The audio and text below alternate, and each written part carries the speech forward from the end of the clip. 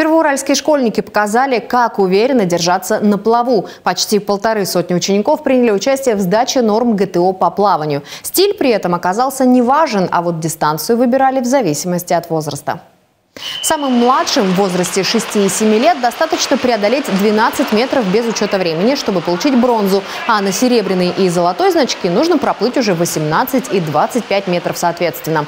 Дети в возрасте 8 и 9 лет дают уже более строгий норматив – 25 метров на время, а для самых старших и дистанция в два раза больше.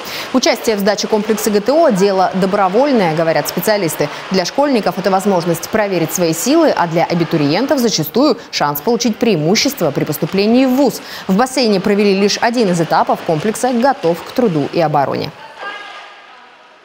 Дети из образовательных учреждений сдают сегодня норматив. То есть у нас дети уже приняли участие в этом году, они у нас сдали лыжи, зальные виды. Сейчас у них идет бассейн, э, стрельба уже была. И в мае у нас планируется бег на короткую длинную дистанцию.